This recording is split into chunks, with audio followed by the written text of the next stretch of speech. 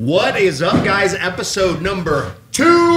Yeah. We got Devastating DC. We got Eric Catalano. We got Nathan Maul. Uh, Darryl Cobb is a professional athlete. He has been fighting for, shoot, uh, About 14, 14 yeah, I was 15 gonna say years. 13, 14, 15 years Yeah. now. Yeah. Eric is a tattoo. Devastate, devastating Eric. Devastating right. Eric. Yeah, I was thinking about this today. I was like, man, you got like devastating DC. That's like awesome. You probably got like crazy biker nicknames and Right, stuff. right. And then like, what's your stage? I go by Devastating Nathan. that is so crazy. You guys got that in That's common. so weird. Yeah, it's, I, so it's- it was on my birth certificate. Man, it's just a wild. coincidence That is that, a- it worked that is out a crazy way. Yeah, thing. it's weird. It's It's, such an weird. odd thing. That's so crazy. It So I'm also a professional athlete um, for 14 years. and I also know Darius Miles. There you And go. He knows Darius Miles. Yeah. So we have got some cool stuff to go over today.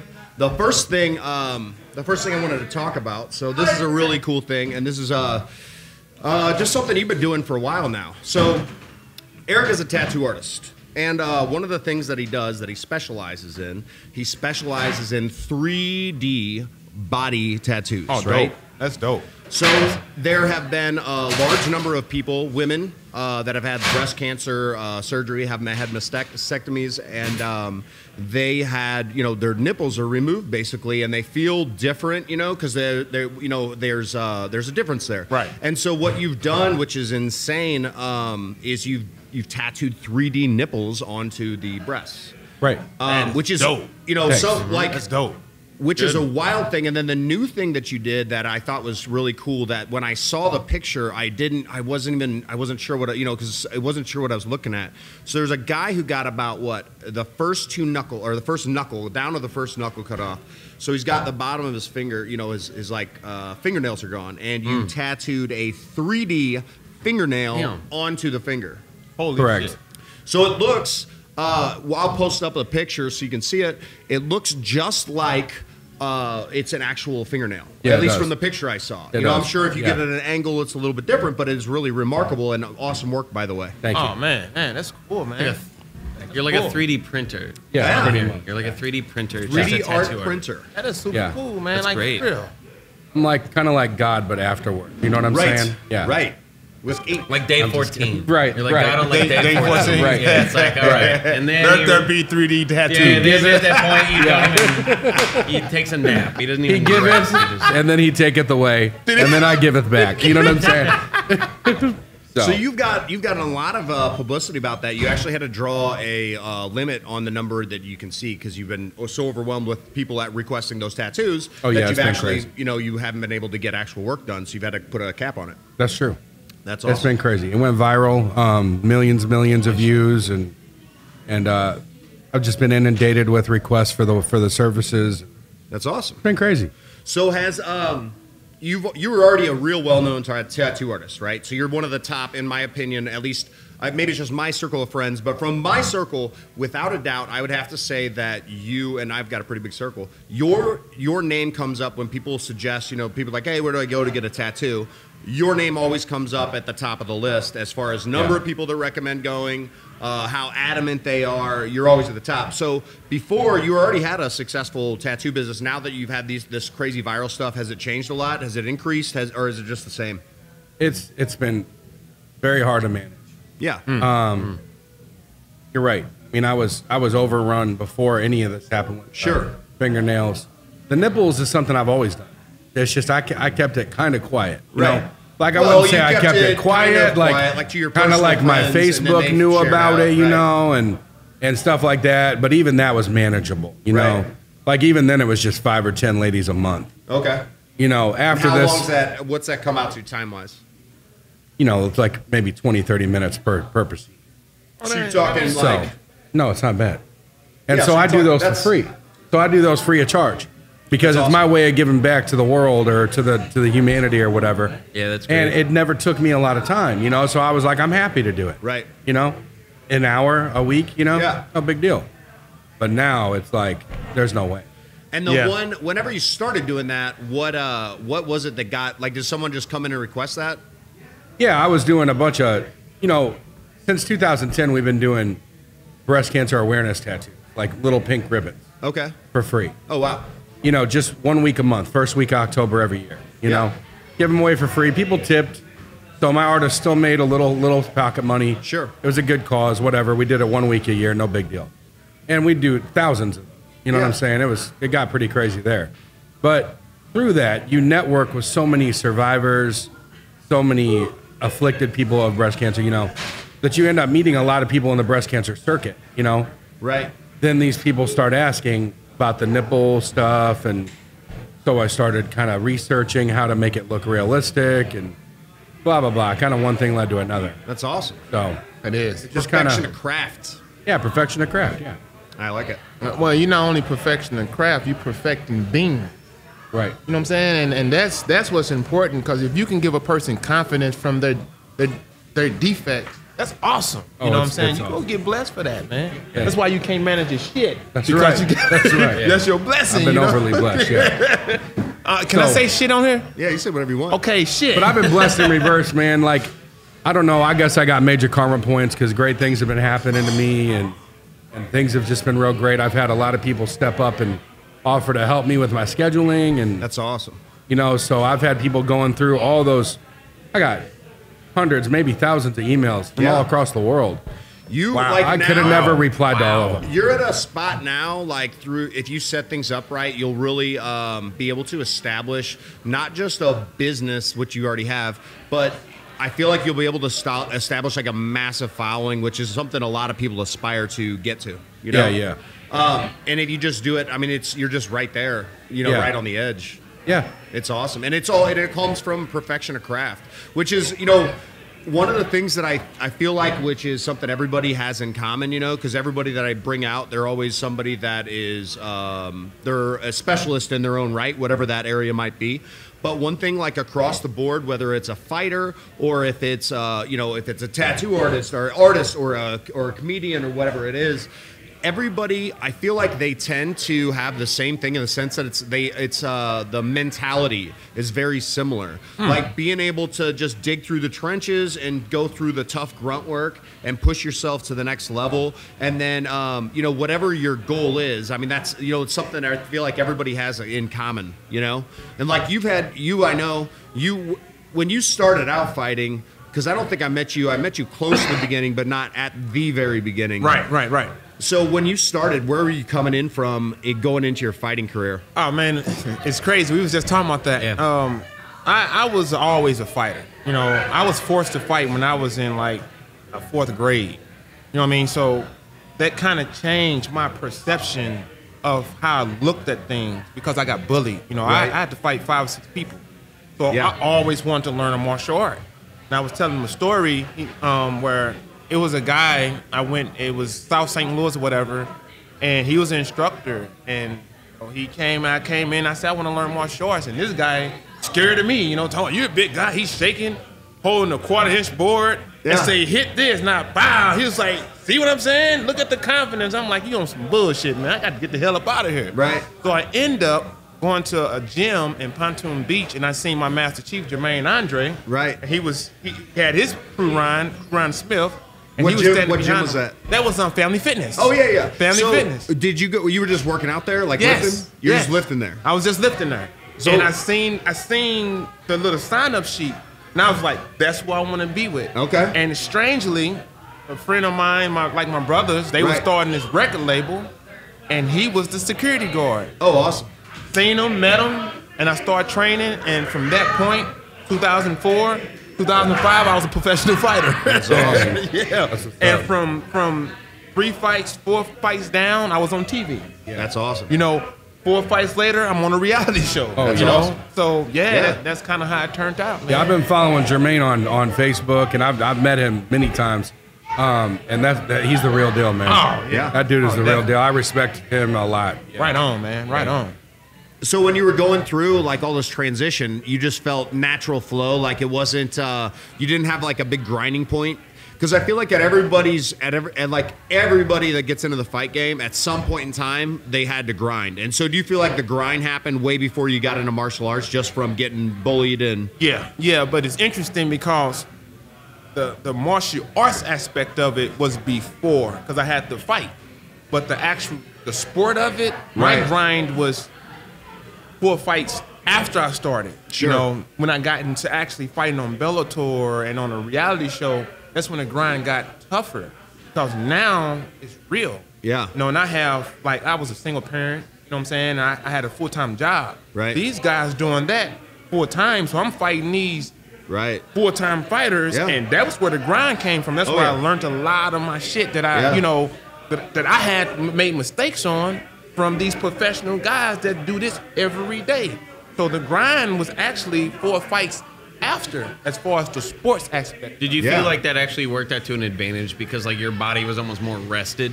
Yes. Like they talk about that a lot. Like I know like like I'm a big I mentioned that to you earlier. I'm a big basketball fan. Right. A lot of times they say like when a basketball player hurts like their like wrist or something like that, they're like, well, at least they'll have fresh legs when they come back. Right, right, You know right, what I mean? right, So it's like it actually can almost work to a benefit. And it does. can. Yeah. It- it's amazing because with me, for the whole 14 years, I was trying to find out who I was as a fighter. Right. You know, I knew I knew who I was as a martial artist. I'm just speaking as a fighter. And just three years ago, I honestly put it all together. You know. Yeah. But this is towards the end where I'm doing more training than fighting. You know. Yeah. And but it's it's crazy So you feel like you're better now? I'm a lot better now. Yeah, I'm I a feel the hell of same a way. lot better. I'm a hell of a lot better. Um, yeah, I, I heard something interesting today. It said this guy said he's like, man, you don't actually hit your peak until 46. Like 46 is the time when you're like, if you've been steady training and treating your body right, that you, you know your cardio, you can be a top level cardio, top level lifting. He's like, 46 is the magic age where you're just the supreme athlete. I mean, I totally agree with that though. I totally agree because it's crazy. Like, I'm, I'm um 38. I'll be 39 this year. Right. And I'm in better shape with less training than I was when I was fighting regularly, and it's crazy. Well, I think part of that too, though, is that you've been. It's all right. Think about think about this. Think about a time when you were just grinding through training, like just grinding through hard ass training, Right. right? Grinding through really hard, and you you start to wear down. You Yeah. know, let's say you've been doing it three, four, five months on like just nonstop hammering your body and, and training hard, lifting hard, uh, plyos, all that stuff, doing everything you're supposed to be doing, but doing it to a maximum level. And let's say five, six months in, you start to feel pretty beat up. Yep. You know? And so I feel like what happens later on is because you're not grinding so hard, like you were saying, you just naturally you naturally tend to put less overwork in. Right. Because I don't feel, I don't really actually believe in overwork. Well, I, I guess I do, but it's more of a relative thing. So it's not, it's not like uh, this is overwork. There's like a set amount. It's more of a question of you personally. Yeah. You yeah. know? Yeah. So there's not, there's never like a magical number. It's always relative to the person and relative to what their training uh, level is. Right, And right, for right. some people, training two or three times a week, that is the maximum that they would be able to do, depending on what their training load is and all that.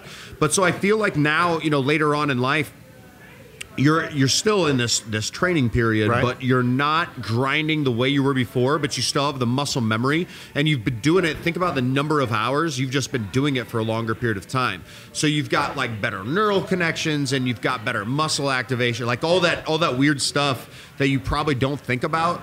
But you still train. I guarantee you, you train like what three times a week at Yeah. least. Yeah. Just actual training, and then maybe you do some other stuff outside of Right. that. Yeah, Right, there's this right. uh, there's this great book called Grit, um, written by this amazing. She's a professor. Her name's Angela Duckworth, Okay. and um, I'm about to check that out, man. yeah, it's, it's really good. But she talks about like one of the major things that like sets people apart. A is work ethic, uh, but also finding this thing called flow, and we all know what flow is, just Right. inherently. But like she's actually like researched, studied it. Yeah. Uh, and she's a like I said, she's like a professor, and this is what she's dedicated her life to: is the idea of you like working hard through the difficulty. Like, there's always like the beginning of the story where everything is sexy and fresh, and there's the end where everything is like sentimental and and nostalgic. But it's that middle where it's just really ugly and dirty and unsexy and unclean. yes, yes. yes. And she said when you can train during that time Oh, and yeah. actually like find the value of training during that time, not Oh, even yeah. loving it. You don't even have to fall in love with it. Just She- make yourself she, do it. She interviews like an Olympic swimmer that says like, "Are you asking me if I really love waking up at three in the morning and swimming several hours and staring at nothing but the bottom of a pool, are you really asking me if I that's love crazy. that? No, I do not love that, but I love swimming.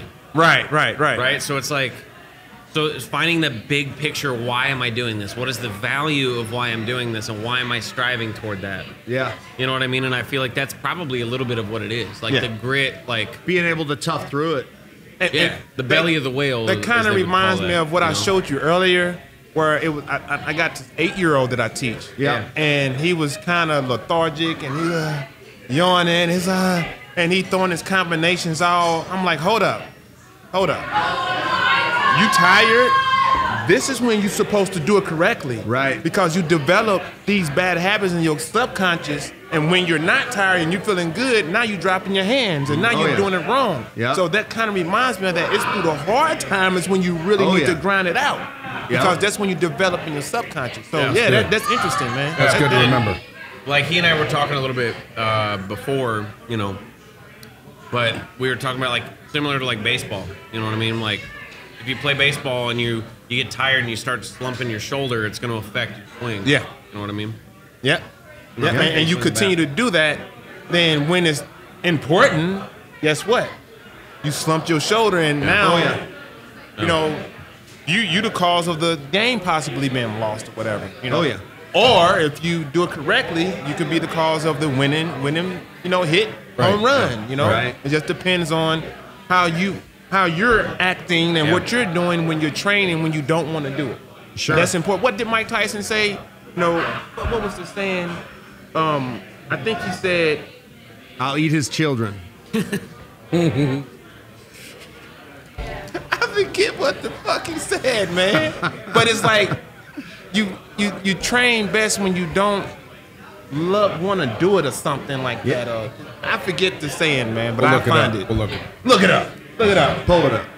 Yeah. He's got a man. He's got a lot of good stuff, and you know, with Cus D'Amato training him, I feel like um, he there's so much knowledge there that I was looking into the last couple of years, just from great quotes from Cus D'Amato Yeah. about training and mentality and how you need to like focus. I mean, there's so much, so much in there, and it's like you never get. Um, you don't really hear as much about Mike Tyson as a philosopher, you Right, know? right. You always hear of him as this savage animal, just murdering people and destroying them.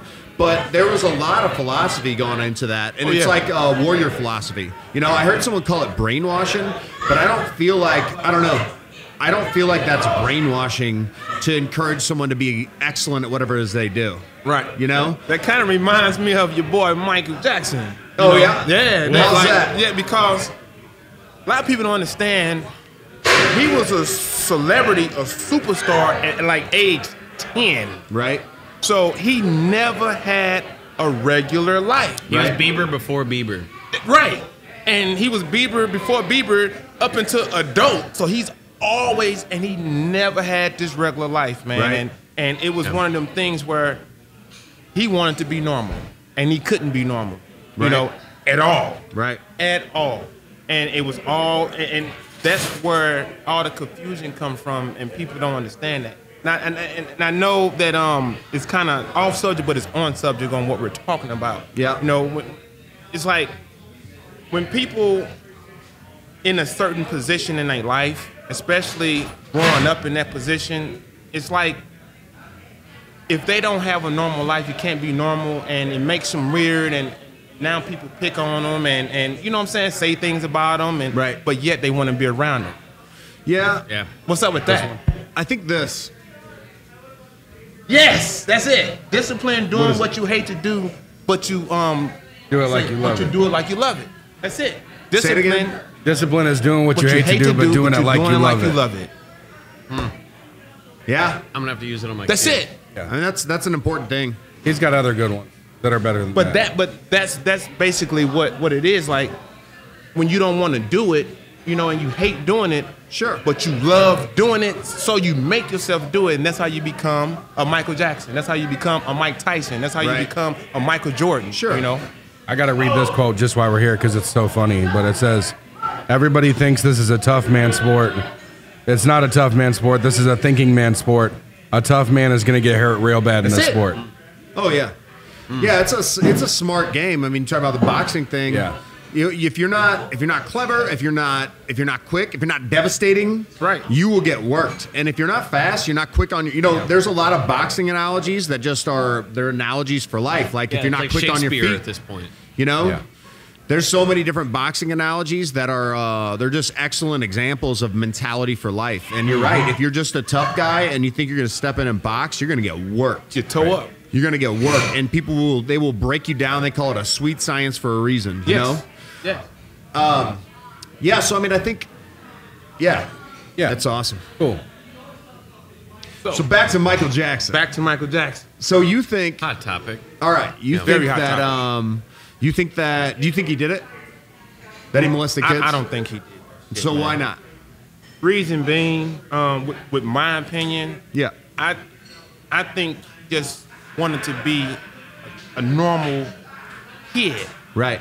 and he wanted like the whole okay let's go to the neverland Okay. ordeal okay you got to think about it in order for michael jackson to go to outside he fucking had to wear a costume Okay. he had to wear a costume so he couldn't go to an amusement park Okay. all right so what did he do he built one at his house Right. right Right. him being the one at his house, and now say, okay, I got this big ass amusement park, and I don't have nobody to fucking play with. Right. Ain't no grown man finna be riding on no goddamn roller coasters. That ain't that. that Right. You know, like okay, Eddie Griffin was like, all right, man, I'm coming kick it with you, but I'm not finna be riding on no fucking roller coasters and sitting on elephants and shit, man. Right. So what that attracts? Kids. Right. And he was a fucking big ass kid. He never grew up. Okay. So I don't even think molestation and trying to fill on these kids was even on his mind. Okay. But he was a very easy target because he was a weirdo. Yeah, you know, yeah. and the reason why he was weird because he never grew up. Yeah. He never yeah. grew up. So yeah, here's my thought: is this, um, you know, and this is something, and it's it's really relevant right now with the whole Me Too thing and all this. Uh, and you know, there's a lot of guys out there that are famous that are they're like accused rapists, they're accused child molesters. There, there's a lot of interesting stuff that's going on right now. Oh man.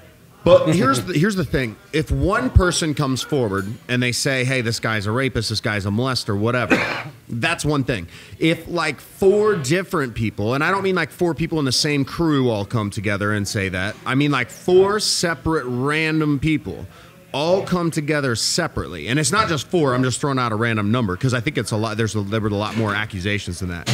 So it's not just that there were four. It was like a lot of accusations over the years. So it's like when there's one, that's that's questionable. When there's two, it definitely raises an eyebrow. But when there's three and three from all separate um, separate like groups, they're not. It's not like three friends coming together. Three separate random people coming together with the same story. Do you realize how that would definitely make me think, or a mass majority of people think that something definitely Oh, happened? yeah. Oh, yeah. You know, and so with the number of allegations, which there's absolutely more than three, right? Do you does that influence your opinion at all? No. So what? All right. So how about this? What if I told you that he had a lock pad on his bedroom door?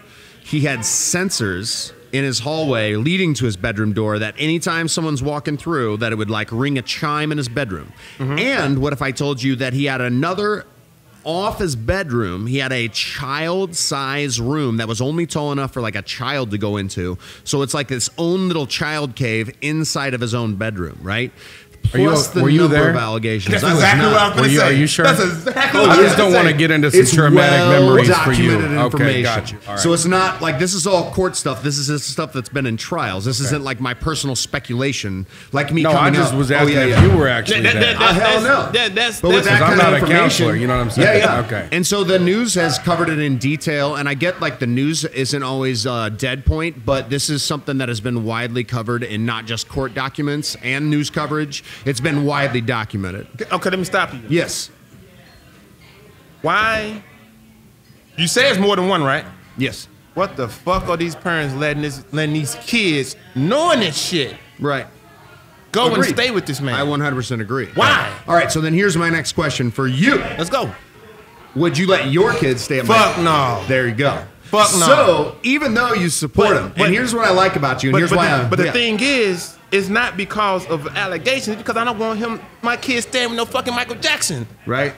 I don't know anyone. no Michael Jackson like that. Oh, I don't want give my a kids fuck staying how with anybody. famous he is. Nowhere, Right. nowhere else. I'm not gonna do that. I brother gonna let him stay with you. Right. Right. So it's not because it's Michael Jackson and and all that shit. Someone you don't know. It's just somebody I don't know. Now, it's, what it's if cool. it's what if it's Michael Jackson and you kind of know him and he's got allegations, or what if it's Michael Jackson and you really know him and he's got allegations? I'm, what? I'm still not gonna do it. It's Still not gonna let the kids I'm, hang out. I'm not gonna uh, Just unless, because you know there's a risk. No, that's because I'm not gonna let my kids stay over there at anybody's house. Just like, okay, okay. Now I'm over there, and this is this is the type of relationship that we have. Oh, I'll come over here. Yeah, let's spend the night. Then that's fine. Right. That's cool. Right. But it has nothing to do with allegations because for real, nobody really knows because nobody was really there other Well- than the people that was there. Right. You got Now, you is he got shit. offering any money? You got shit. You got shit on the news. Is he offering money? Is you offer money? It was Michael Jackson offering his parents money.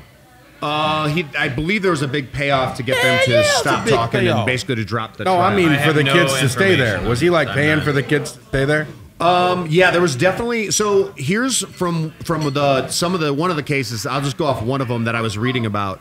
There was definite exchange of uh, something, and it was more of like favors. That's right? bullshit though. Well, just because you say it's bullshit doesn't mean it's bullshit. So there were there was an exchange of favors, and so there were there was there was money involved, but it wasn't like, hey, I'll give you twenty grand to have your kids stay at my place. It was Right. like, hey, I get you this job, and so there is there is movement of uh, money, and there is movement of authority and movement of power. Um, but there, it's not like, and then after the fact, though, then there's movement of money to get them to drop everything. But see, that's what I was. What I mean about bullshit is, there. Okay, if this is the case, you exploiting your kids for money. right. All right. And, maybe, maybe. And, and, and you know, or, or or fame or whatever, and you have these allegations, and you still go exploit your kids. All right, so on, let's man. backtrack real quick. All right, because I don't think like that is a possibility. I'm not saying that didn't. That it's not a possibility. But check this. Think about what you were saying earlier, and it's something really important that I want you to think about. Right. Is you said if we had this kind of a relationship, and you mentioned how if your kids were staying there and my kids were staying, right? You said if you had that kind of relationship where the kids were staying over. So, like, that is kind of what the point is is that this guy, he set up this thing, he set up a system like rides, he set up jobs for parents, he set up potential influence for the parents, right? So, he befriended them, right? And they definitely had a relationship, right? Right, right. And then over the course of time, as they build up trust, because this is what a pedophile does, right? So you know, I did a lot of security back in the day, security, bodyguard, bouncing work. Um, I've done work for tons of celebrities doing that stuff. But uh, also, I have studied in depth into this kind of stuff, which is why I think it's so important to talk about because. And it's not even like it's not even about winning this because I don't like I know there's no I don't feel like we have a we have like a feud we're just Oh, talking no, no, right no, now. no, no, no, no But more so I want to talk about it, and this is one of the reasons I want to talk about it because it's gonna like this. The the mentality here is gonna affect other people that are watching this, and if it can even affect like one person for the better, this is why I want to talk about Right, it. Right right, right. So um, think keep in mind like what happens is for somebody that's like a pedophile that's going after like trying to pursue kids, they don't know in their own head. They're not like, oh, I'm gonna bang this kid, right? They convince themselves slowly over time, so they do it by proximity 1st So mm-hmm. via proximity, they they get around a kid and around their parents, and they befriend the parents, and they build trust, and they build that relationship where they're, hey, my kid can come over, hey, your kid can come over here, hey, we'll stay at your place, hey, we'll all stay at the same hotel. They build that relationship up over time. Then what happens is this: they attempt to isolate themselves in the kid, mm-hmm. right? So this can be done by taking them back into a bedroom. This can be done by taking them off to themselves, and they don't even realize necessarily that they're doing it, and they continue to get in more and more precarious positions with the kid until they're all the way to the point where they're actually fucking a kid. So it's not something that like that um, you know by him asking his parents to hang out, he's like, ah, I'm gonna bang a kid, right? Right. But it is something that he's doing subconsciously, kind of like you were saying. It is a subconscious act that they begin to play out in their heads, and they do it again and again and again until they get a winner, right? And it comes from exactly what you said, where it's like they build up a relationship over time where they're going back and forth. But anyways, like you know, I, I just wanted to talk about that real quick because it's it is a hot topic Yeah. and it is something that I feel like is important and is important for um you know for for the general public. Well, well, I, I'll say this. Er- er- you you know people, Right. When you're dealing with people. to an extent, yeah. Eh, yeah, but uh, okay, I know. I mean, maybe I don't, you know, but you don't look like a pedophile. Thank you. You don't look like a pedophile. I appreciate it. Thank you. You don't look like a pedophile. Okay? All right? All right? Okay, you say Michael Jackson, he, he don't look like a motherfucking pedophile. Yeah, he kind of does. He does. So, Right. okay. So, my point is why trust a person like that? If this is what it is, what's more important? Your kid or your or this money and fame? Agreed. If this is if this is what it is. Right. Right. And yeah, and You it's feel what I'm definitely something that looks sketch. But Yeah, also, sketch. with that being said, though, there is no look for a pedophile, right? There's no like, it's not a set. Well, he looks like he's got beady eyes and he's got you know like eyebrows that tilt in. There's no set look. And Michael Jackson's an extreme case because you've got somebody, you know, Michael Jackson, you got R. Kelly. These are guys that are famous people, and it's not necessarily that they're the stereotypical rapist and pedophile. But if you look at a lot of their behaviors, they're performers, and because they're performers, they're flamboyant. So it's like they have flamboyant behavior. They have, um, you know, they got crazy costumes and crazy outfits, and that's yeah, that's What what fuck they do. you get shit, you got you got Hefner. You got that um um what's his name? What's Weinstein, whatever the fuck that guy name, whatever he is. You got all these motherfuckers. But Yeah, these yeah. guys ain't being exploited. right. That's what's fucked up. They not being exploited. Oh, it's out there. Yeah. And then it's swept up under the rug. Yeah. Even even Elvis, and that's everybody fucking Agreed. He had 14, and 13 year old. Oh, yeah. You know what I'm saying? And Yeah, he's not and he's not getting he's hammered. still the king, you know? Agreed. it- it's fucked up. That's- so I agree. It's just one of them things where why these guys? And I also think though, I think with Elvis and there was another musician from the '60s. He's uh, what's his name? Jerry Lewis. Yeah, right. Jerry Lewis, yeah. Jerry, Jerry Lee Lewis. Um, also a guy who married a girl. I think it was like 15 or 16, 14, 15, 16. 14 years Oh, underage. Yeah, 14 years old. So there is, you know, I think the difference, and I'm not saying this is better at all, but I'm saying I think the difference is I feel like in one case you've got like serial guy, like a guy who in everyone's mind, and both R. Kelly and Michael Jackson, right? Let's pretend for a moment that 100% everything they did, there, all the allegations are Okay, true. all right. So you've got these guys that um, they have multiple allegations to where to the point where it's almost like they're serial pedophiles, serial rapists, right? Serial sex offenders. Okay. Versus you got a guy who's definitely having an underage relationship, but it is an exclusive relationship. Not saying that's okay. That makes it any better. But I am saying I do believe that is why, in public opinion, that's why they don't. But how do we know get that that's the only person they Oh, you don't. You Exactly. don't know. That's You my don't. point. But all I'm saying is my this: point. the allegations are for both of them is that they had one relationship, right? But that's allegations. Agreed allegations, but that's not allegations. That's a real thing. Yeah, I think, it's like also, I think it's also important to note that in America, this might be a surprise, but race is also a thing. So like, Hell yeah, so racism. if we're talking about, if we're talking about, if we're but I don't think Michael Jackson counts in race, any kind of race. Uh, Well, he, ca- he, he counts counts. because he went from black to white, don't back to black. I don't think he counts. He was trying to be. We don't want it. We don't want it. You can have But, but I also think it's important to note that, like, yeah, I mean, it's it's super scummy what they're accused of doing. I don't Right, want to right. make it seem like oh they're innocent or anything like that. But like, Right. especially R. Kelly. But I think it's important to note these are two black guys in America, and I think that they are held to a different standard than Yes. than se- than like Elvis or even Woody Allen, right? Yes. People, people or or Roman. I don't. I'm not Polanski. buying it. I don't. Roman I don't think so. I don't I think, think it's if it was racing. switched, I think if Elvis. I think it's the numbers. I think if Elvis was accused of doing this with like Multiple- in Right. girls, and Yeah, then R. think Kelly just thing. and R. Kelly just married a 14 year old. Oh, I I think think, it what- would be what- different. okay, I think okay, people would still What be about, tripping about on Elvis. Hefner though? No. He's he's a player. Yeah, But they were not Wasn't he a underage. They weren't underage, They weren't underage. 16 No. and 14 14 year old? They're all Yeah. 18, 18, 20, 21. Oh man, come on, man. I don't think ever. So here's what I I'm would saying. I'm not now, like now, I would believe that they'd have to be 18 and up. I would say now. Now? but, But I back bet then? back in the day, and I don't know. Maybe there's allegations I need to hear about. But I never he- heard of he's not getting hammered. No one's. I don't hear anybody like burning their playboys. Fuck no, they not because it. But I don't think it's because he's white though.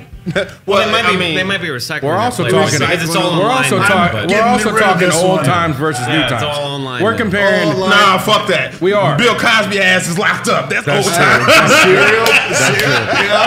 but we're talking about Elvis marrying a 14 year old. I can't even believe he got away with that. Oh yeah, Because Well, today right. that would have happened, white or not, popular or not. Yeah, it's over with. People Yeah. would have been Yeah, freaking it's out. over Right. with. And so Yeah. that my point my point was not to say that like that is the only reason. Like Right. but I'm saying like It has an there's, effect. There's, There's some a- validity there's there is factors. some validity to Sure. absolutely I what could you're see saying, that. the numbers thing, but I do think it's where also people important that to know are that have some hidden racism are more likely to attack them, and because exactly. Of, I, And yeah, I- I can think see that's that. and, and, important to and, know. and, and It's that's important all know. I'm saying. And, and, you know, I'm not saying Mike did or didn't do it. I just personally, my opinion on him. Okay. You know what I'm saying? As far as R. Kelly, that that's he's sick. You know what I'm saying? And, and, Yeah. and I'm not even saying I don't know what he did and what he didn't do, but I know that He's getting fried. he had. He's getting He- hammered. yeah. He was. He was. He's He's playing playing Yeah. the mercy card. Yeah, he's not nah, getting he, nah, he out of there. But you know, he had some issues growing up and all that shit. Yeah, too. yeah. But, but everybody does. You know what I'm saying? Well, and and I just, I just feel like everybody need to get treated on the same accord. Yeah. Agreed. It don't. And it don't need to People be. that go through that at a young age are more likely to Yes. perpetuate that behavior at a later age. And check this, this is something that you you know there's something to think about, right? For a for a uh, a person that is a pedophile, the at the most successful clinic in the United States of America, the most successful clinic, there is still a 50% relapse rate. So at the most successful clinic, that means that one out of two guys they recommit the same crime, having sex with a kid, right? And so the the the only the only um, successful treatment, and that's still with a fifty percent. 50% relapse rate. The only successful treatment is actually empathy training, where they go through in depth and in detail how the person that they abused, uh, how they felt, and they walk them through the process of building the ability to emote and to understand their emotions. And that has been the most successful treatment. So there's got to be something there, you know. And it's I'm sure it's the same thing with R. Kelly. Is that you've got he has no like he has no idea like for him he has no empathy for the people that are his that are his victims you know so he's able to do it again and again and not feel bad about it because he doesn't need to think about that. The same way the same way and i thought about this the other day. I was i was listening to um they were they were interviewing some serial killer. I don't remember who it was. It doesn't really matter. But they were interviewing the serial killer and they said they said how is it that you're able to just kill somebody? Right? And he was like uh, he's like well i just shut it i shut off my emotions. They're like well what about don't you think about the person's feelings? He's like no because then i wouldn't be able to kill him. Yeah. right? Yeah. but then and I, I at the moment i laughed same thing right? I was i thought it was really funny and then i was like man like that's the same thing i do when i fight. Like i Well, just I shut was gonna that say off. it sounds like well, it sounds like he's like a surgeon or something like that. He's like, well, i guess you got to leave your emotions at home. you Yeah, know what I mean. right. Like, I think about it when I get home, but at work, you know, Well, I mean, I've dated a lot of girls like it that, you know what I yeah. mean? Like, I watched Yeah. I watched that Ted Bundy joint, right? Yeah. And from from beginning to end, and it Oh, I was- watched that It was it was interesting because a lot of it come from being bullied and, and stuff like that. That's and, so crazy. And, and the way you know um, you were you were grew up, you know. Yeah. And it it it does something to your chemical imbalance in your Oh, yeah. brain, and But here's the thing, though, man, because you said you were bullied, right? Yeah, but I- And I was bullied. But, But- the difference is, like, for me, the difference is, um, But I'm a crazy cage fighter. Yeah, but So you weren't. I just, I, but I got bullied. So Right. my, my, I put my energy In into positive fucking people up in, in the cage. right, but in a positive direction. In a positive way. because you're building skills. It wasn't like you're like, oh man, I got bullied, I'm gonna fuck somebody no, no, else. no. It was just like you built skill, built skill, built skill. It still was a chemical imbalance Sure, that sure. I had to find balance, I and the martial arts Yeah. was my balance. yeah. mine You know- manifested through anxiety. I Did you have? like, did you get bullied? Yeah, a little bit. Like Or I went to a a very bit? small school, so it was like one of those weird things where like the people who bullied me were actually like a lot of times my friends. Right. I was like, oh just yeah, kinda like- like I think that's how it Beaver, like I was, Beaver. I was the low end of the totem pole. So, Yeah. like, and I had no escape. It Right. was like I was part of this like weird. It's not like I could be like, well, screw you guys, I'm moving. Because they're your part." only friends, So these are my these were my only options for. but peers. also they're assholes. Yeah, Right. so also these asshole people were also like, "Hey, you want to come over Friday?" You know what I mean? Like, but they would like fucking wrestle me down to the ground, and I'm like, I I'm defenseless. I'm not a good wrestler. I'm not a good fighter. So it, Did we you feel like they were doing it to be mean or they didn't think about it? That's they're the just wrestling around? I'm a teacher now. Right. I teach a lot of the same age groups that I got bullied. Yeah. And I look at these kids and I'm like, they, the way some of the same like quote unquote bullies, the way they talk to me as their teacher, they're nice and respectful. They don't think that they're being bullies. Right. They think that they're just living their lives, and I they don't. They have no idea that they are social animals, and the people that they are dominating to them, it seems like, oh, I'm just being awesome. Yeah. Right. I'm just being Yeah. awesome. Yeah. I'm so confident in myself. They have no idea the effect they're having on young kids. Yeah. Yeah. They have no idea the effect that they're having on their peers, even in these small micro ways. Right. Yep. And so, at least at bigger schools, it's like, well, these guys, I don't get along with these guys. I'm going to move on to this peer group. Right. Sure. right, In right, my right. school, mm-mm. So what I what it did to me is it forced me to like. I internalized it. Oh, this is who you are. Right. I had a very fixed mindset about who I was. So I was like, well, the only way that I can get like people to like me is to either be funny or to be kind. Right. Right. Right. Right. Right. And so it forced me to think of like, I felt at least at an early age uh, that I had to earn people's love and I had to earn it, like So how'd you do that? By being funny and Just by, by being comedy. smite, by being smart, uh, funny, and being like super nice. Yeah. Like I was like, no one is gonna feel the way I feel about myself as a result of talking. Mm-hmm. They're gonna feel good about themselves after talking to me because I hate myself Yeah. and I'm gonna be funny because at the very least, anyone can say anything nice to you and not mean it. Right. Anyone can be like, "Oh, you're so great," and then they hate you. Sure. Hell yeah. But but Hell yeah. But to me, you can't fake laughter. You can't fake comedy. So when someone would laugh and you could see it in their eyes, they actually Like a real at laugh, said, yeah. They can't hide that. That's not fake. Right. So Sure. I was like, I'm gonna do everything I can to chase that moment. So the same way that uh, And what age? What age is this? 12, 13. Mm-hmm, Wow. Yeah. Uh, I had a chest deformity. I had one of those like concave sternums. I had glasses. My hair looked dumb because I had this like calic and I hadn't figured out a way to fix that. Right. So I was just like this skinny, goofy kid, uncomfortable in his body. My older sister was a year ahead of me and she was popular. It was like, oh, you're Kristen's brother. And I was like, well, I guess that's my identity is I've got to be the Right. the the if, and then I remember one time in class I got to laugh at something I said. And it just it changed my world. Wow. I was like, this is this is me now. This is so I'm gonna me. be funny. And that was my life goal. It was I'm gonna be funny and I'm gonna be smart and I'm gonna be kind at all times. Dope. Because At the age of 12, that was your goal. Yeah. So not to be like fireman or get like some career job, but you're just like, I'm just gonna be really funny all the time. not just funny all the time. Funny, kind, and smart. If Funny, I kind, that was my smart. three part plan. If I could be hmm. funny, kind, and smart, I was gonna be because it wasn't like I, I didn't have that same vibe of like, oh, I can just walk in a room and be like, hey, we're all cool. It was, I need this person. I need Jeremy to like me. I need Darryl to like me. I need Eric to like me. And if they don't like me, then it means I suck. Something's wrong with me. You feel that now? Uh, it creeps in every so often. It's a voice in my head. Here's how I think about it. It used to be like, imagine being a public speaker and that is the only person in the audience, Yep. and they are constantly giving you feedback. Right. Now I feel like I'm a public speaker.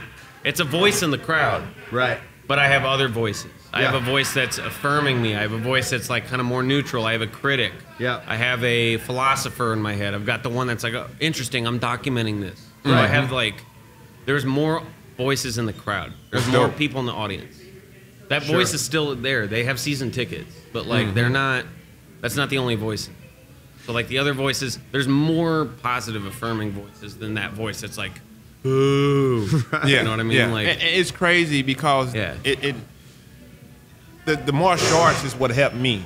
Yeah. You know, um, through uh, the meditation and, and just the, the the just the whole philosophy Yeah. behind the martial arts. It changed my life. It uh, helped me with confidence and being around people. and, Sure. You know, stuff like that. And, Yeah. and it helped me have a center. Right. You know, and and understanding pain. You know, pain is a huge part of our life, man. Physical, emotional, you know, psychological, everything. Like, if something happens to you as a kid or even as an adult, it's trauma to the brain. You know what Right. I'm saying? It's trauma to you, and, and it sticks with you. Sure. And you have to know how to deal with it and Agreed. face it head on. and that's what the martial arts did for me. So I'm same way as you. It's just the martial arts. Yeah, exactly. You know, and Exactly. and, and and more as old, the older I get, you know, Right. I learned the meditation, you know, really does work and it changed your vibration. You know, my vibration is high now because I, I get it, you know, and Right. and I learned that it all started from the martial arts, understanding vibration and, and, and how, how you attract laws of attraction and stuff, man. That stuff is real. And that's where I'm at. And I walk around with all the confidence in the world, not because I can kick your ass, but I can kick your ass, but Yeah, not right. because I can You kick your could, yeah, ass. it's because hey, I know I'm a good guy, you know, and if you don't like me, okay, so what? You missing out. Right. So, Yeah. and that's how I feel about it. And Yeah. Move And if you don't like life. me, I'm gonna kick your ass. Not- right? Pretty much. So for you guys that uh, don't know Darryl here, he is, in my opinion, a Devastating Darryl. Devastating, Devastating Darryl. Sorry, Darryl. I forgot his, his double first name. uh, he, in my opinion, you're like a legit martial artist, right? And Yes, when. I say that, what I mean is um, like the philosophy is not just something you read or you learn to box or learn to kickbox real well or learn to wrestle or learn to put it all together. Like you live the philosophy as well as study it and practice it. It's a real thing for you. Yes, sir. You know, and so when I first met you, I actually I was like I was like, who the fuck is this guy? And uh, it was out. Oh, I was bouncing. I was bouncing. Yes. So I used to bounce at a lot of different clubs and uh, a lot of really rough clubs. And so there was this group of people that I was uh, I bounced, and it was almost like the identical group. There's a bunch of guys in like gangs and stuff, and they'd go from bar to bar, and I would end up following them somewhat around different bars, bouncing and cooling down these bars. So I'm at a I think at that point in time it was a Mexican restaurant. It was a Mexican Fairview restaurant, yep. Laredo's, and I, I think it was a huge scrap that just happened, and I was tossing people around. And then uh, you came up to me, and you knew I knew Jermaine, and you were like, "Hey, man, anybody who's a friend of Jermaine's is a friend of mine. I got your back." Yeah. And my first thought was, "Get the hell away from me! I don't know you, and I definitely don't want your help." Yeah. Right. And then that, but I met you, and then I think I saw you. Then it was crazy. I saw you like a week later at church. Um, yeah. And I didn't even go to church. So it was like that was kind of weird. That was like you know, what like church? Gangsta nightclub to To uh, church. church. yeah. Welcome hey man, he's life. got your back in the Right, Lord too. right. Yeah. He's got your back So in the were at, yeah, Grace Church at Grace Church, Hal Santos' church, and my uh, brother-in-law. He was a youth pastor at the time, and then um, I don't think he was my brother-in-law at the time, but no, he definitely wasn't. But anyways, there were a bunch of people that I knew there, so I would help out behind the scenes over there. And then uh, that I ran into randomly, probably right. I was sk- skirting out for an event or something. Yeah, yeah. But uh, yeah, that's how we met. I didn't like you the first day- night I met you, and then after I saw you at church, I was like, "What the hell?" And then I, you This know, guy's got a whole another side. it's not just some asshole. Yeah. But you weren't even an asshole that night. You were being really nice and you were being genuine. But it's like, you know how it is when people come up to you um, that you don't know and you don't know if they're being nice. You don't know if they're being genuine. You, you know, because sometimes people just say, oh, hey, man, I got your back because they want your back. They want you to have their back. Right, right, right, right. Uh, but yeah. That's that's cool. And, and and it ended up, he helped me get ready for one of my Bellator fights. Cool. Oh. You know, he was there. He he came and sparred had your with me, back. and he actually had my back. And Family's that's, good that's for that. true. Well, he, he helped me with one of my Bellator fights. You know what's funny is, man, in the fight game, you meet a lot of people in the fight game that they don't understand the relationship side of the fight game. And so they will show up at fights, right? And this is a crazy thing. Like, this doesn't make sense to me. You show up at weigh ins, you show up at the fight, right? It's a Thursday, Friday night. Right. Um, You got everybody there is a fighter, right? Everyone knows everyone there is a fighter, okay? It's gold. Um, but you get people that still feel the need to personify that fighter personality that they're they're super tough, Yeah. right? Like we're all there to beat the shit out of each other, but like Yeah. you feel like that's not enough on the toughness level, so you need to like churn it up, right? Like you're literally there to punch people in the face, get punched in the face. You don't think that's tough enough, so you have to bring an extra personality. So you get these guys that walk around, they're like assholes, and all they really end up doing is they end up shutting themselves down. They end up missing out on a lot of opportunities. And versus the guys that are friendly and they just say what's up, like you and like uh, you know, a handful of other MMA guys Right, that are smarter and they understand the game better and they will meet people from different schools they'll meet people to train with they'll meet people that are all over the place that help with marketing and help with all types of different Yeah. things. And it just comes down to being friendly and being personable and uh, being a genuine person you know? A lot of improv stuff. I feel like a lot of improv stuff. So nathan here has trained at the IO in chicago. Yeah, I we're talking to like someone who's been like on reality TV shows and a guy who went viral and it's like, hey, I'm a teacher and I do That's- comedy sometimes. So yeah, Like- it doesn't sound for most people. It probably isn't that great of a of a thing to say because nobody knows. Not a lot of people know what the IO is, unless you're in the improv thing. I don't think most Yeah. people know. Do you know what I- IO is? Improv? No. Okay. Yeah. So the IO is in Chicago. It's the Improv Olympics. It is. Um, there's two big organizations in Chicago. There's the IO, which is Improv Olympics, and then the other one is the Second City. Okay. And then there's kind of the like Ralph Nader of the third. It's Are we gonna called- get an which is example? what- It's the annoyance. Are we going to get an example Yeah, we need an of example. IO. of like the improv? Oh yeah, yeah. Oh. yeah. So what he what he's done is with the IO, it's a it's a more of an elite group where they have a higher standard, I think, to get in, and then the other one, the other group, which is the second city, which is more of a general. Um, uh, kind of, I think anybody can get in. They're more accepting. So, uh, well, y- anyone can take classes anywhere. Like, Right. so I, I, to be fair, like, Okay. it's not like I like auditioned and got into IO. I You just, just went and trained there. I just, yeah, I just studied there. You know what I mean? I just paid my money and I took the That's classes it. and I had my graduation show and I Okay. watched all these great performers and I got to talk to these amazing people. You know what So I mean? I- so, like, it was a learning experience. It was great. Am I misunderstanding that it's not an elite group? Mm. So, okay, here's the thing. Like, just like with like any training center, Force Recon anyone can improv. take the classes, right? Okay. So Right. anyone, if you pay the money, you can take the class. Okay. If you then graduate and audition, then you're elite. Like if you make a show, Oh, you're okay, so you got to make it.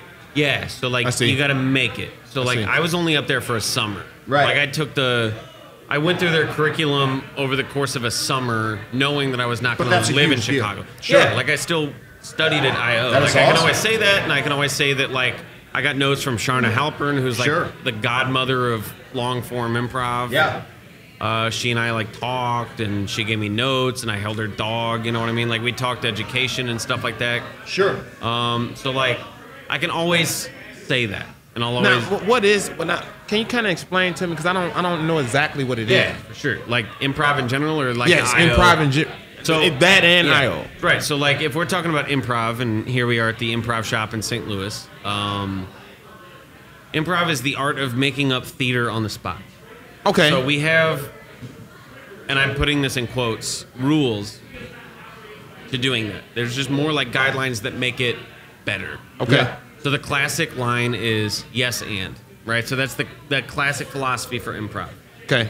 Um, and for an for an example, um, what that basically means is you don't. So if I make a statement, right? Yeah. Uh, you don't try and block the statement or go against the statement. Yeah. You always add on to it. Yeah. So uh, if I was like, let's say we're creating a story and we're doing like an act or a scene, um, I'd be like, man, this morning I was on a yellow bus.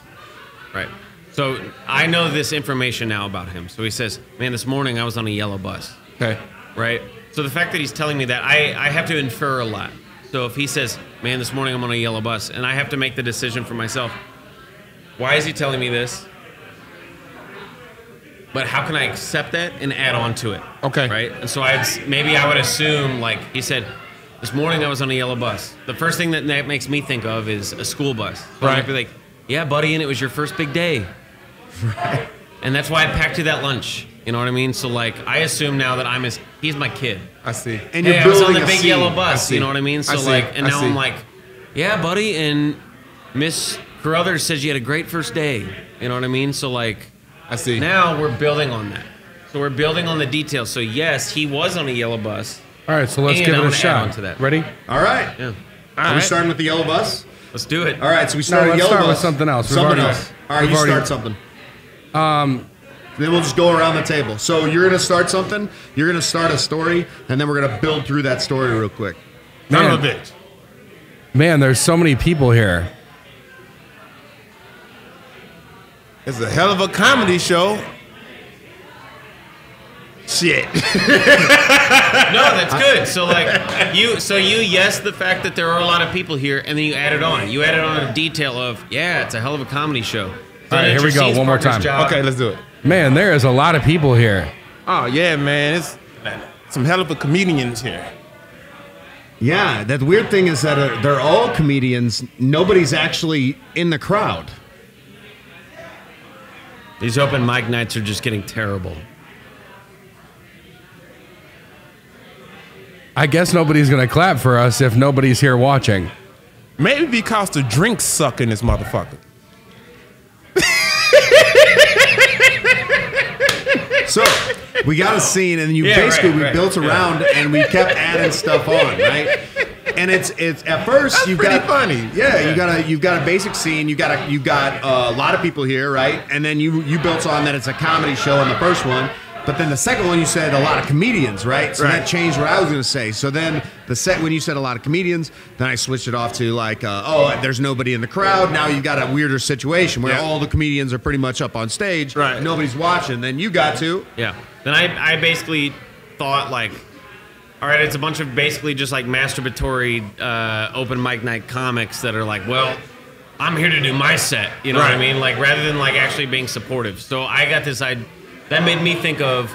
There's nobody in the audience, but it's like, I mean, there's four of us here, but maybe there's like ten to twenty just terrible local comics Right. who are just there for an Sure. open mic night. No audience. It's just them waiting in the green room, being like, all right, tonight's the night. And that got me to thinking after everybody says their funny thing, there's gonna be no applause. Yeah. and, and, and I just thought maybe because they're not drunk enough. and this motherfucker. So you got one rule, which is yes and, which is always work together, like always add on to whatever somebody says. So what's another one? Um, Don't ask. Don't ask too many questions. Don't ask assume, too many assume questions. information. Oh wow. Okay. So rather than being like, "Hey, how was your day?" I don't know. How do you think my day was? How about you tell me? Right? The audience. A, it's uh, the audience is gonna get like, "All right, come on, what happened?" But also like the even the performers. It's kind of like you're making your scene partner do all the work. Ah, yeah. So what you should do instead of being like, "Hey, how was your day today?" Be like, "Your teacher." co- uh, Not to keep making teacher bits, but like, you had a terrible day. Like, assume the information. So if I tell Darryl, "You had a terrible day today," now I'm giving him information. Right. Right. I'm giving. It's called a gift. So I'm giving you the gift of you had a bad day, and now he immediately has something to like assume something about his persona. So now to yes and that, he's not gonna be like, no, I didn't. It was a great day. Because Now I build now off we're now we're terrible day. arguing over reality. Rather just just assume, yeah, it was a bad day. I uh, Yeah. I got fired because Oh, I oh, I'm constipated. yeah I was constipated and I uh, shoved my boss into a locker so that I could so I could get to the bathroom first, right? Like whatever it was. That's pretty fucking funny, man. Right. So you just build and you just like assume, and then I'll be like, we had a mortgage payment. Why the fuck would you do that? Like Yeah. whatever it is, you know what I mean. And so like the cool thing in improv too is That's like dope. you play. You're not yourself. Right. Right. So you can play a different gender. You can play a different whatever you need to. Like obviously, like be mindful. Don't be. That's a problem. Is sometimes people go in like trying to do something and they're making it off the, off the top of their heads. So you want to be spontaneous, but sometimes people say shit that's like a little thoughtless, or they, uh, uh, you know, maybe a little cartoonish or stereotypical, and they, you can tell a lot of times they're honestly trying not to. It's just like whatever comes up. So Right. you want to be like mindful of like, all right, if I'm gonna play a woman on stage, I'm not just gonna be like.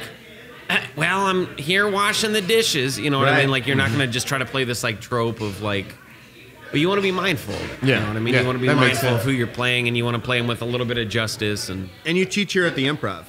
I don't. I coach. I don't Coach, teach. not- I don't oh, teach sorry, classes. do I not coach. teach. I They teach coach. high school coach. improv, but I don't. That's I, that's cool. 'cause I'm a man. high school teacher. I do teach Okay. improv, but I don't teach at the shop. I do Got it. coach though, and I perform uh, on a house team here, and then a couple of independent teams. And then do you do stand up as well? I have tried stand up. Um, I didn't like it. Why not? It's very vulnerable, and you have to Oh, be yeah. yourself. Yeah. So I was a really good joke writer, Right. Uh, but I did not like the idea that like. So when I said something, it was on me, and I had to own it. And basically, Right. the audience doesn't like it, they don't like you, and they don't like the fact that you what you've prepared. Whereas like an improv, it's like, oh, I had a bad set. Well, I was playing a character, and I was making it off off the top of my head, and there's going to be another show, and it was not Oh, an indication of me. Yeah, yeah. Yeah. It was just what I had to be thrown into. Whereas in stand up, it's like I've been working on this material for months, and you Oh, hated it, and that feels very vulnerable. Oh yeah. So I've done sketch, I've done stand up, I've done improv. I'm pretty good at sketch and improv. Stand up, if I would have kept going, I think I could have been pretty good because I think I'm a good joke writer. I think I'm a decent public speaker. I think I can read an audience pretty well, but I uh, I just didn't get the same joy. Ultimately, Do you still write now? I haven't in a while. I, I'm I can come up with ideas for a sketch or something like that, Sure. and I'll tell other people, and I'll be like, I'm not gonna do anything with it. You know what I mean? Like, uh, Yeah. but That's I, what I'm a working good. on. I could be a. I was a good writer when I was doing it. I was a producer for a sketch show called Sketchpad for two years. Oh wow. Sketchpad is that? I, I've heard of that, man. Yeah, yeah. Uh, we did stuff for like, we had a show for St. Louis Public Radio. We played at the Marcelle for a while in uh, Grand Center Arts. We went to the Show'em Comedy Festival in Columbia. Um, I mean, we did some cool stuff, but it just, uh, I'm, you know, I'm not with them anymore. But it was a really fun, formative experience. Sure Oh, cool. really liked it. Dope. Got to play some fun characters, original characters, and uh, it was a great opportunity. That's awesome. Great opportunity. It is. Yeah. Well, we are about one hour in, and I think that's going to be it for today. What are you going to call this episode? What's that? What a wide range of uh, Oh, we're gonna right? call topics. it. It's definitely putting the Michael Jackson in there, so I don't know. Okay. Um, we're probably just gonna. I'm gonna go The over Jackson every high- Four. I think you should call it the, the drink sucking this motherfucker. Because that was hilarious. I love that part. That was awesome. That was awesome. That is our show. That was good. That was good. Thanks for watching us. I hope you guys have a good night. Peace out, everybody. Right on. Make sure to hit that subscribe button, and we'll see you soon. Follow us on Instagram. Uh, make sure to follow Eric Catalano. What's your your favorite um, social media platform? Um, Instagram, aka Busy. And then follow me AKA on busy. Instagram. Yeah. Okay. You follow me on Instagram too. Follow us on Instagram. I got Instagram. You can follow me if you want. DC. Follow us on Instagram. I hope you guys have an awesome night. We will see you soon. Later, guys.